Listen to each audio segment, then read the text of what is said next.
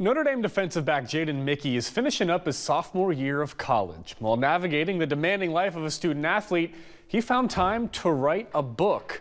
It's called The Win Isn't Always on the Scoreboard. It's the story of Jay, an eighth grader with big athletic aspirations who had it all in high school when suddenly his family moves and now he's playing for his old school's rival. Mickey talked to a ninth grade English class at Mishawaka High School today to talk about the themes of the book, especially overcoming adversity. You learn a lot of lessons through every game, and I could say this last year, comparing it to our football season last year.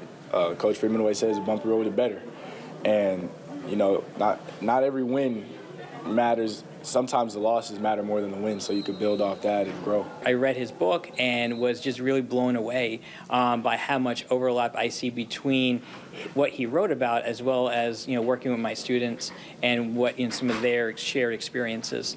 And so I figured it'd be a good fit for students to be able to see and to hear from someone who is slightly older than them, reflecting on his time, experience, mistakes, as well as accomplishments as well. Now, Jaden did tell us a second book is in the works, a release date still to be determined.